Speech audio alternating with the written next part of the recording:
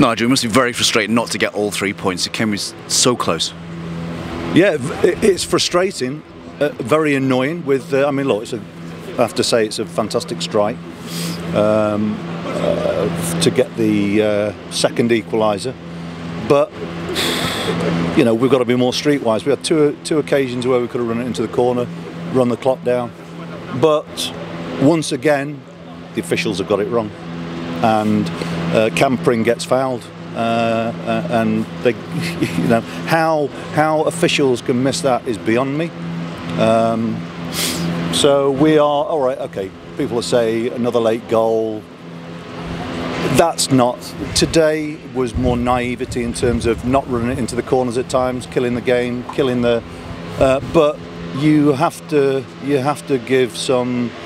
Um, you, I am putting the blame very much on the officials for not doing their job.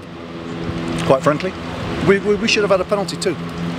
That must be very frustrating for you. Yeah. In terms of Chris Martin's finish, yeah. Antoine coming, scoring, and yeah. coming back into the game, yeah. that must be very, very pleasing.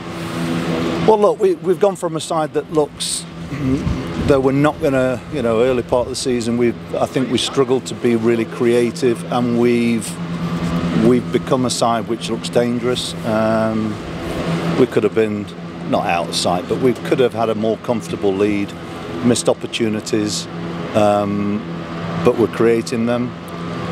We, there's been a question mark about our defending set plays. I thought today we were we were strong, and at the end, when you look at us, we looked a big side at the end. So, you know, there are positives, and I, I, I'm not really in the mood now to be to uh, kick the cat. It's a um, it's a real disappointment for us, for our fans, who think once again have seen a very committed performance.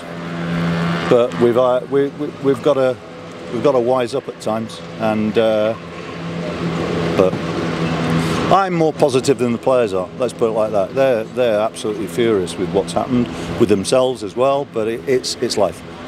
A word on Timm Klose, you threw him yeah. straight into action, yeah, made yeah. his debut, he looked very calm and assured on the ball, and you brought Robbie Cundy on as well.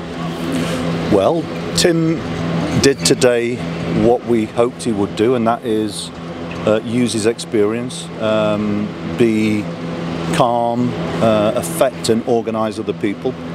Um, Robbie, for him to get on at the uh, towards the end and he, he showed a bit of nous actually. So um, yeah, it's a positive for us, and they are. Uh, if we're going to make the most of what we have as a squad, certainly in, uh, it, we've got to be a little bit more um, uh, defensively assured. I think today we don't deserve. Uh, it feels like a defeat actually. Uh, we don't deserve to, to, to come away with just one point, but that's how football is, and we have to learn from it. Simple. Is that the big takeout? Need to be a bit more streetwise, a bit more savvy to, to close games out.